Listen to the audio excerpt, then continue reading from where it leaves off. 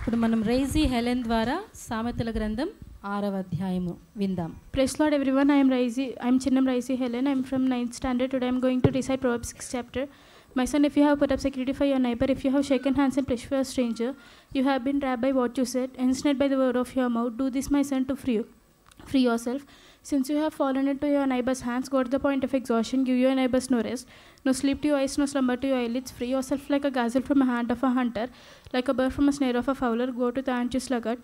Consider ways and be wise. It has no commander, overseer, or ruler. He stores his provision in summer gathers wood at harvest. How long will you lie there, you sluggard? When will you get up from your sleep? A little sleep, a little slumber, a little folding of your hands to rest, and poverty will come on you like a thief, and scarcity you like an armed man. A troublemaker and rebellion who goes out with a cor- corrupt mouth, who winks maliciously with his eyes, signals with his feet, motions with his fingers, who plots evil with a decide in his, in his heart. He always stirs up conflict.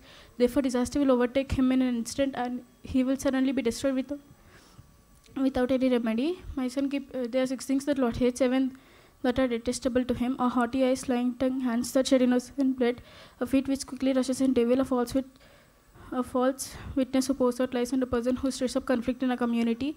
My son, keep your father's command. Do not forsake your mother's teaching. Bind them always on your heart. Fasten them around your neck. When you walk, they will guide you. When you sleep, they'll watch over you. When you awake, they'll speak to you. For this command is a lamp. This teaching is a light. This correction and instruction are way to life. Keep keeping you from your neighbor's wife, from smooth talk of a wayward woman. Do not lust your heart after beauty, or let her captivate you with her eyes. For a prostitute can be had a loaf of bread, but another man's preys on your very life. So can a man can a man scoop fire into his lamps without his clothes being burned? Can a man walk on a hot coals without his feet being scorched? So easy sleeps with another man's wife. No one touches her will go unpunished. But people who do not despise a thief if he's, if he steals to satisfy his hunger, when he is starving, yet if he is caught, he must pay sevenfold, so it may cost all the wealth of his house. But a man who commits adultery has no sense, whosoever does so destroy himself.